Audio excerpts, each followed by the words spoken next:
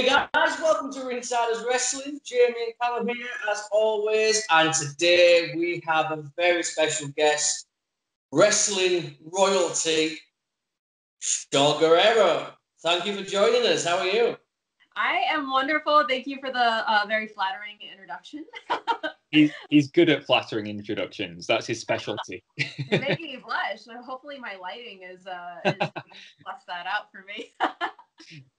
Uh, it's true though. I mean, you you know, you talk about wrestling royalty and names. Guerrero, you can't not mention. So uh, it was the truth. You are wrestling royalty in my eyes. So how are you anyway? How is uh, you in Chicago? I believe is it? Uh, yeah, I'm in Chicago. Um, it's as well as it can be right now. Um, I'm sure you guys are very aware of the dumpster fire situation we have over here. Um, uh, like but no, we're doing good. Chicago is slowly opening up, so um, things are kind of happening a little bit. We've even been able to have a couple of wrestling shows around Chicago, so that's like promising. Uh, so, but yeah, I'm good, man. We're just, you know, the hustle. You know, we all we all get that. We're all in the business. We, we know Absolutely. the hustle. So, we, speaking of the wrestling in Chicago, we have been following it quite a bit because Chicago's got such a good wrestling scene. I mean, Chicago's got the best fans in the world for wrestling, if you ask me. Absolutely.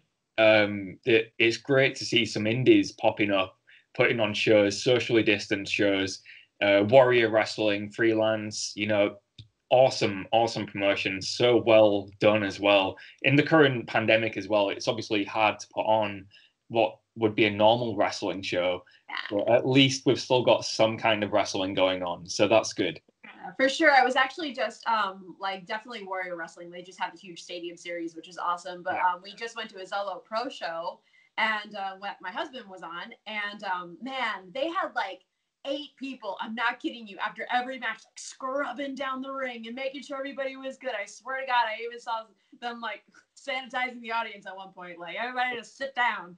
But uh, it was good. They, they really uh, put on a good show. And same with Warrior. You know, we're just trying to make sure you know the talent's safe and uh, that oh, of course the audience is safe too. So it's happening slowly but surely. It's the new norm. Yeah, that, right. It's the new norm. You, you hear it all the time. It's the new norm, and wrestling is definitely being hit by that new norm. I, I to the point where I can't actually remember off the top of my head a time before it. It seems like this is just being you know, oh, there's the cat. There she yes! is. Yay! it gets me excited. I'm like, hey, kitty. if, if you're not giving her attention, she'll come and get it. So, um, yeah, I give up. She's managed to open the door all by herself, so I, I just give up now. So. well, hopefully, if I'm lucky, one of my cats will will come in and. and I hope so. but no, I'm I'm with you for sure. Like I, it's hard when when I watch like old wrestling or not even old, like God, just like wrestling from last year, like yeah. just to study, and I'm just like, oh my God, look at how close the audience is to one another. Right. Or like even watching a movie, like watching just like a normal scene in a restaurant, I'm like, oh my God, Rona.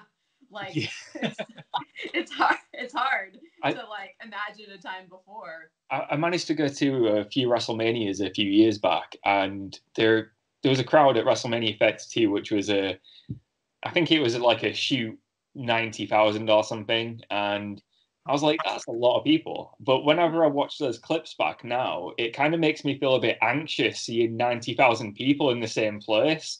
It like, is, yeah. Like we have anxiety now about it. It's so weird. I'm like, where's your mask? Yeah, where's your mask? Sanitize. well, even then, like I'm getting back into the ring and like I'm training, and like it's so funny every time we go into a training session, like we're all a little nervous, like, hey man, like, do I shake your hand? Do I do the elbow? But then it's like, wait, what are we doing? We're literally gonna be in each other's faces and yeah. armpits and just like we still like five minutes. yeah, so there's still a lot of anxiety around all of that for sure. Yeah. It's a scary time. Where, where, where just at the minute getting stricter again, aren't we, Callum? And there was a few announcements yesterday, so we're, we're going back to the uh, being strict again at the moment. There's a big oh, national, yeah, big national TV uh, statement last night with new restrictions coming in. But I think it's basically it's creeping up, so it's to stop it now before it it goes. Um, but like you said, yeah, I'm still I'm still seeing people outside, you know, the, the hugging and the shaking hands. I'm like, you're like seriously, like Come on, Corona. You know Yeah. what you do. You No, know. we're, I think we're waiting for the other shoe to drop over here too, just because flu season is coming around, and uh, you know we're right into fall, so we're we're all just kind of like, oh, like we're Yeah. we're waiting for it. That's happened to me today. I, I woke up this morning. I was just saying to Jamie, I've I've got a cold. Like I'm, it's always the same. Like as soon as it starts to the season starts to change, I get a cold. But now when I get when you get a cold, it's like, is it a cold or? It's scary. You're like, is Yeah. it sinuses? Is it a cold or is it the Rona? And so it's Exactly like- right. Even though the common cold still exists, your brain's just like, but what if it isn't? so yeah, even just yeah. like I sneezed in public the other day, and I was like, oh shit. Because I was just so nervous because like and like believe it or not, I had a couple of people like like just look at me like, oh god. And I was like, no, like I'm good, I swear. Uh, it's, it's crazy, crazy times, and uh, like we said, getting back to wrestling, it's crazy times for wrestling. And what uh, you you said, you're getting back to the ring as well. You're training, you're getting back into the ring. You've picked a great year to do it. Um, I know. How I'm like super timing right now. Yeah. Oh god. how's it been for you getting back into the ring then? You know what? I was actually pleasantly surprised because um like it's been a 6-year hiatus for me to be like um wrestling necessarily. I mean, I've been doing announcing and commentating here and there, but um I, you know, at any wrestler, you know, if you take more than a week off, you're like that first bump back, you're like, "Oh god." But um no, I was actually pleasantly surprised. Um I had the opportunity to get to work with Justin with Dustin Rhodes Yeah. um over at AEW for a little bit. They were kind enough to let me work around with their girls and even here in chicago i'm working um i'm like getting in the ring at freelance and my body's been feeling really good i'm actually like oh man like like the bumps feel good everything feels great it's just you know sucking wind like just because you know you have to like be constantly in the um in the ring in order to get your wind up but that's what i'm working on right now is just having matches and you know getting ready for that indie scene which will hopefully open up at some point Yeah, I, I mean, what are you looking forward to the most about coming back to the ring? You said it's been six years. What is it you've missed the most about wrestling? I mean, it's I a the people like that's always been one thing I've been I've said because this business is hard. You guys know that, and so it's. Um, but you miss the really cool people you work with all the time. Um, so I'm happy to be back into that. And then honestly, just being in front of a crowd and performing. I miss performing so much.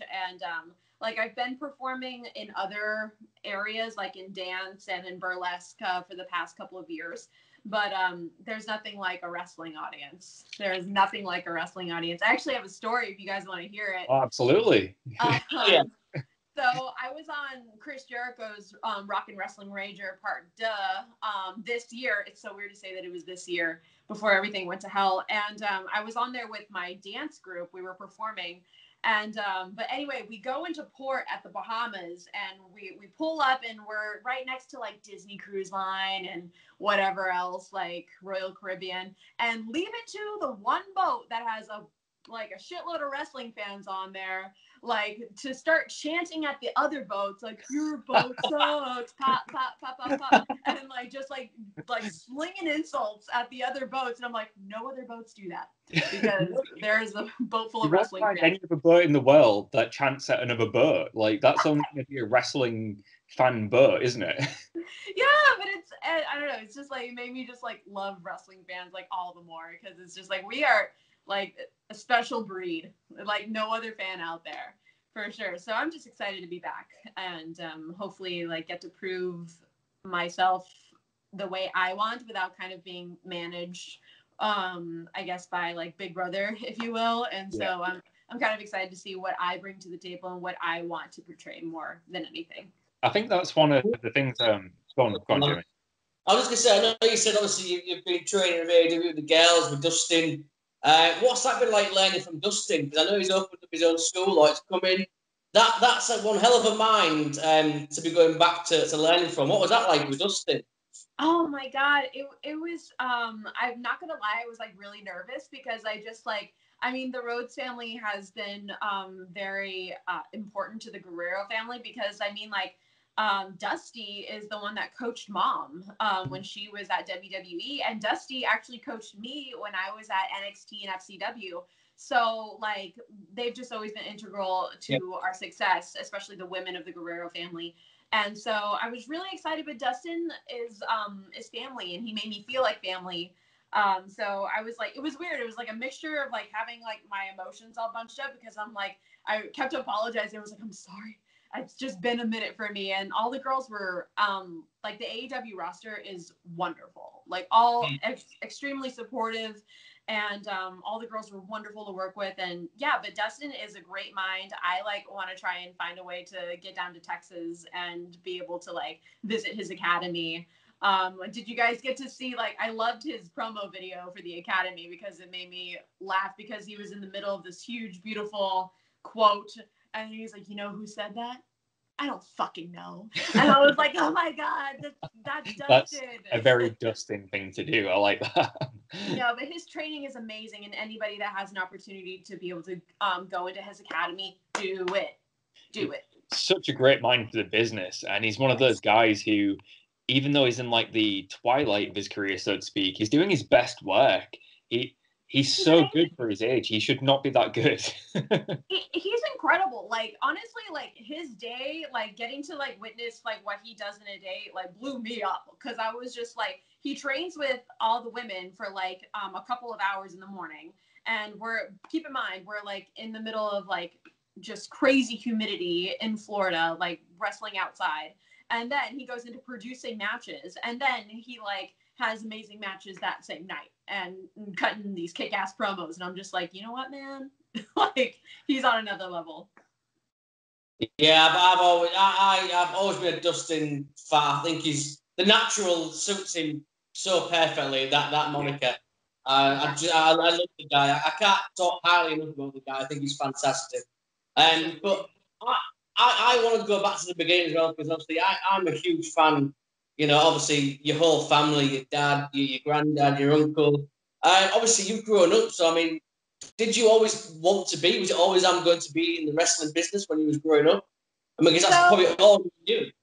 No, that's a wonderful question, and thank you for saying that. Um, I appreciate that. Um, honestly, when I was younger, I think like until I was 15, I never thought I was good enough for it because I I was in the era like, of course, like my dad was tearing it up and kicking serious ass, you know, all through that time. Um, but the women, it was a different story, you know. Um, like it's like I always thought they were seriously badass and really cool, but we didn't have a lot of diversity necessarily at that time. And so I never thought I was pretty enough, skinny enough, or just that I even had it in me, honestly. And um, and my first love was dance. So that was always like my main goal is um, dancing and singing and stuff like that, which was wonderful. But it wasn't until like I was around, I want to say like 18 that I really felt like I could do this. And that was um, when I was with my mom. I was traveling with her um, just to like, I don't know, kill time. And also because I was interested in the women's product at the time. And um, John Laurinaitis like happened to notice me like hanging out a lot backstage. And he was like, yeah, you should try out. And I just was like, okay. And literally, literally they set it up. I didn't know if I was going to shit the bed or if I wasn't even going to walk out of there because I've never taken a bump in my life and um, they opened a door for me and then they happened to want to give me a shot so that's how it all kind of happened but it wasn't until i was like 18 that i was like oh maybe i can do this it wasn't that i didn't want to my whole life it was just that i didn't think i could so so you've always had the love and the passion for it anyway. You just didn't think it was Yeah. something that was realistic for you, but you quickly, I imagine you quickly found out it was because even when we were watching as fans, when you were in NXT, you one of the things I realized quickly was you've got the character down to a T. Like you. you've got the character, the, the character work is incredible, which is one of the reason, reasons I'm looking forward to seeing you come back to the Indies because we'll be able to see that, but your own version of it. Thanks. No, I really appreciate that, and like major kudos to to Dust to Dusty Rhodes because like he was the big like father behind me, like helping me with all that. But um, yeah, I'm excited like because I've never felt better in my life because obviously I'm not struggling with my eating and my body as much anymore. Like I'm focused. Like when I'm in the ring now, I'm focused on my wrestling rather than like how am I looking? Am I looking skinny enough? Oh my god! Like all those like demons kind of looking lurking around. So I'm excited because I feel better than ever with wrestling. But then I'm also like super scared because I'm not going to be hiding behind a gimmick this time. I'm going to be straight up Shaul Guerrero. That's how I'm going to the ring. And so Oh. it's awesome, but I'm also like, oh dear God, I'm putting myself out there and it's scary. It's scary. Yeah. I don't know how a lot of fans are going to react. because it was the first time in in wrestling that you have been able to be yourself. Like, you- like I said, you- you're not being told who to be. You're not another name. You're Shaul Guerrero, and you've got no pressure. Like, no, no pressure at all.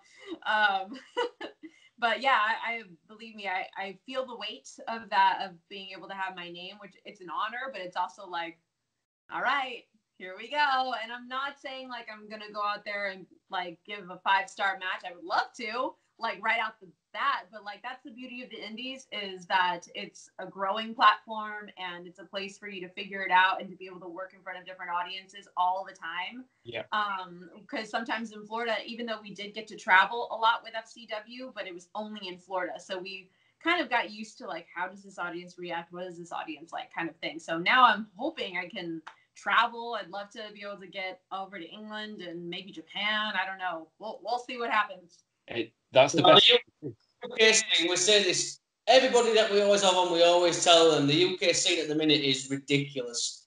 There is literally, there's probably a promotion in every city, and it, it's, wherever you go, there's a wrestling company. So come over here, you'll probably be here for a year. It's Oh my god. Honestly, especially with like how our country is handling everything right now, my husband and I have plenty of times been like, "Yo, we need to move. Like this is, this is not good. We need to get out of here." Don't. I'll just say this: don't come to the UK because we're not doing much better. Go to Oh. Australia or New Zealand or something. Like, Oh my god. No, I I hope I would like to go back to Australia though. I actually got to work with a promotion over there and I like wish I could have stayed longer. So I'm just gonna like drag my husband around because he's working now too. Um Yeah. on the indies. So I'm just gonna be like, you know, we just need to like go pair up and just like tour everywhere. Just go everywhere we can. it's the best way to get experience, isn't it? Like going to different countries, doing all the all the indies. Like you said, it's it's the best way to fast track yourself to, you know, finding out who you are, what your character's going to be, um, learning so much stuff because you're always against so many different types of wrestler. Um, is there any indie promotions in particular that you have your eye on that you that you would like to wrestle for? Oh, absolutely. Like, I mean, um, as far as right now in Chicago, like I'm just trying to like get my way into like Zelo and freelance and um and Warrior, absolutely. Um, but like I have a friend, Bull James, um, that has definitely like got me in contact with um with Eve promotions over um across the pond with you guys. And um, I mean, I would love to be able to experience Japan and be able to go into a dojo at one point. Mm. Um, but sorry, I'm like nervous. I'm like, oh my gosh, what are all the promotions? I'm trying to like trying to get into like big time wrestling and I'm trying to go into prestige here in the US. So it's just so hard with the pandemic because I'm just like, I don't know. Like, I don't know. And, Like all the promotions like I want to work for and keep working for are in New York right now or in that area, and that is just like like not happening. So, but honestly, I'm open to anything. Um, and like you said, like that's how you gain that. That's how you get better and whatnot. I'd also love to go to Mexico at some point too, and you know, Yeah. try my hand over there. Not gonna lie, hella intimidated because that's my my my grandpa and my dad stomping Yeah. ground, my uncle. So I'm a little like, feel like it's Right. something you've do you feel like that's something you have to do though to like you know wrestle in mexico I mean, I it's like I want to say yes, but I'm also like this time around with me coming back into wrestling. Like first of all, I want to like lay the groundwork. WWE and NXT, that whole experience was wonderful, and they really did teach me so so so much. I got to work with amazing coaches there, um, but there there was a lot of pressure, and Yeah. there's just this there's this um I don't know you, you just kind of drink the kool-aid over there and it's just like i feel like the whole time my shoulders were up like the whole time i worked there because the the tension is just really intense. Um so i feel like this time i'm not putting pressure on myself to do anything. I'm just gonna see like i'm gonna ride the wave. I'm gonna do the best that i can. I'm gonna have fun which Mhm. was like not necessarily a priority before. So i'm really just gonna try and have fun with this and see where it takes me. I'm also hoping to continue to keep dancing. So um, I'm gonna try and juggle all of the things. That's interesting, actually. You said there about dancing, and what we've heard from a few people before is wrestling is basically just a dance. How how has dancing helped with professional wrestling? You know what? Um, dancing helps your memory. Um, like with the dance group that I'm in that was on Chris Jericho's cruise, and by the way, we're like going again in October of next year. Um, we have an hour long set.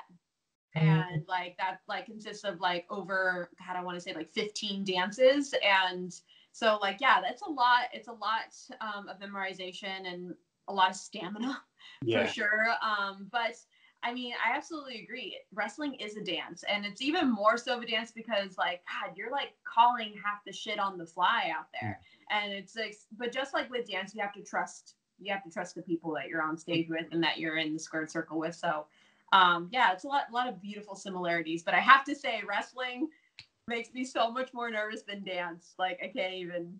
it- oh, oh God, yeah, it just makes me so much more nervous.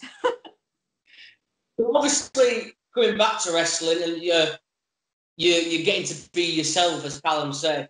Um, are you are you are you going back? Are you watching tapes of like perhaps your dad and, and your uncles and your grandfather?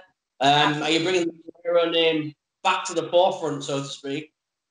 No, I um I love watching my dad. I, I like study him a lot. And so like and I want even though I'm doing this my way, absolutely. Um I'm totally going to pay homage to to him and my grandfather. Like I'm definitely bringing back the gory bomb because I freaking love that thing. Um I'm just saying like a, no one can do a 3 amigos like a Guerrero can do a 3 amigos and uh I still got those down pat um and i'm, I'm hopefully gonna uh, get that frog splash all squeaky clean for you guys when i come back. But um i definitely no i'm gonna pay a lot of homage to him um and because that that makes me happy but it's just like i guess maybe also i didn't really have the opportunity to really do that at fcw and wwe because like like they kind of were like we're gonna start you fresh and not even have you kind of associate with that. So um yeah, I'm just excited to see how that goes. But I definitely I study my dad a lot. Study um I study a lot of Kurt Angle and um I mean I love watching Dean Malenko. I mean my dad and Dean Malenko's like iconic match uh makes me like I, I love watching that. I can watch that all day. Dean yeah, Mo- yeah, incredible. thinking about that. Um, obviously, when you joined NXT and they changed your name, did that kind of piss you off? Did you want to be Guerrero? 'Cause I know was it Raquel, Raquel Diaz your name was changed to? Yeah, Uh, that was that was the name. That was the um it was you know what like it was a mixture of emotions honestly. Um yeah like initially i was i was kind of like oh okay. Like i thought that was kind of why y'all wanted me here. Um but it was more honestly like at the time when they told me like no we don't want you to be a guerrero because if you mess it up like no pressure and i was kind of like god damn all right um but like you know i guess that conversation made me feel all the pressure because i felt like i had to earn my name which i understand like that that has happened i mean like Rey Mysterio had to do the same thing. He had to earn that name. Mm. Um, but I feel like I, I don't know. I feel like I've earned the name in a lot of other aspects of my life with overcoming the demons, just like how my dad did, overcoming addiction, overcoming all of those things. And I did spend three years in developmental, so I'm just like, you know what? We need to just like put the big girl panties on and go out there and like I am a Guerrero. And so that's what I wanted to show everybody. Like, yes, like this is what what this looks like. So I'm hyped just listening to you talk about it. To be honest, like I'm Oh. excited to see you come back, just because I feel like we only got to see like a glimpse of what you can do in NXT, and Thanks. when you're coming back with the pressure, like, but the, it's good pressure. Like I think Yeah. you've got to have some pressure for it to be exciting, and I'm just excited to see what you can do, especially if you're bringing back the three amigos because oh like I said, no one does it like a Guerrero. And to my, I've got to say, I was talking to my mum earlier, um, and when I said who we were speaking to, she was like, "Really?" And she was really impressed because her two favorite wrestlers ever are Rey Mysterio and your, your dad. oh Whenever the Three Amigos happened, she'd pop every single time. Like the Three Amigos and the Frog Splash, two of her favorite moves, and the Six One Nine. So I had to, I, I had to say something because she's a, she's a. I'm sure if you come back and you're popping out Three Amigos and Frog Splashes, my mum will be a fan too. So oh, I hope. I hope I I can get her on my side for sure. Oh, she will be. Uh, And I mean, we, we would be amiss if we didn't mention as well how good and natural is your mother. I mean, Oh, she is a badass man. I, I'm a lucky, I'm a lucky lady that I get to have that woman as an example for me, and um, just like to get to learn from her and whatnot. Like she, yeah, my mom, my mom is kick ass and a little scary, but mainly kick ass. She's incredible how quickly she took to the business. I couldn't believe it. Like when when she first appeared in WWE, it was like, okay, so it's you, you knew who she was, but you didn't know she was had so much talent and character behind her. And then she became almost like she was her own character in her own right. Like she she earned that place and deserved all of the the love, the hate, the reaction, and everything she got was just so justified. Like uh, you must be proud of her as a daughter. I'm extremely proud of my mother. And um, yeah, it was just crazy because I feel like, I mean, it, it, was just such a hard time for us when she went into WWE because, like, that was right when my dad passed away. And, Yeah. like, I mean, God rest his soul. Obviously, I'm sure he wasn't expecting to pass that quickly um, and that suddenly. So, like, nothing was handled and Mhm. whatnot. Like, nothing was taken care of. And my mom, like, didn't have a college degree. She didn't know what she was gonna do. And then thank thank God like Vince McMahon did call her up and like gave her an opportunity and like because and she ran with it. Like she ran with it. It was so hard for her, especially to leave us like right after like this huge tragedy and like we also picked up and moved right after my dad died and it Right. was just there was a lot going on and she Yeah. handled so much grace and she kept at it even though like many times like she wanted to like quit because it was just like such a hard place to be and and not everybody was kind to her when she was there but she yeah she took it and ran i'm so She proud of smashed it. her She really Oh, did. And she's, Oh, yeah. she's killing it right now in AEW. isn't Yeah. she i'm so proud of her Oh, I was so happy. I, I mean, when you hear the excuse me come over the PA system, like I was like Vickie Guerrero. Oh my god, like, and she she has that knack of being like. I know a character is meant to be annoying the way she says "excuse me," but you can't help but love Vickie. Like I was so happy to be annoyed by her. So when she came back to AEW, I was like, this is the perfect place for her. She's definitely got a place in AEW. Absolutely. I'm so proud of her. I'm excited to see um, what she does with Nyla Rose and Yeah. because she will definitely like uh I mean Nyla Rose is already just such a powerhouse and she's already held the AEW um, World Women's Championship. So I'm excited to see where they're gonna go with this. yeah, I'm, I'm, I'm loving it. And I like you said, a badass. I mean, come on, she took a tombstone from The Undertaker. I mean, how badass is that, right? Yeah, I know. Oh my god! Like literally everybody in my family is pretty much been Tombstone by the Undertaker, including my husband. And I'm just like, well, when am I gonna have it done? Like, we gotta finish the circle. imagine imagine that you, you're the odd one out because you haven't taken a tombstone from the Undertaker. Like You know what though? That that still sounds I'm, I feel all right badass, with that. I'm, I'm all right. Absolutely. Yeah. We'll, uh, before we start wrapping up, um, I have to tell you a story as well. Obviously, I, I had the pleasure of meeting your father um, in 2004 uh, in the UK. And I was one of them nerds that waited at the end to meet the wrestlers when they going to the coaches. And your, your dad actually came across and took time to sign every single person's autograph. And that's when I that's when I thought, you know, yeah, because some guys they say, yeah, great, this is the best city, can't you know, glad to be here. But when it was your dad, it was kind of like you genuinely believed it. So it's nice to tell you that story of how much your dad meant to That's me. and The fact um, he, he took the time out and literally signed every single autograph, talked to everybody. So that's that's my story to to, to let you know how much he meant to me. So, Oh, thank And- you. And I think I can speak for both of us. Uh, I think he means a lot to every wrestling fan, and saying that your your whole family too.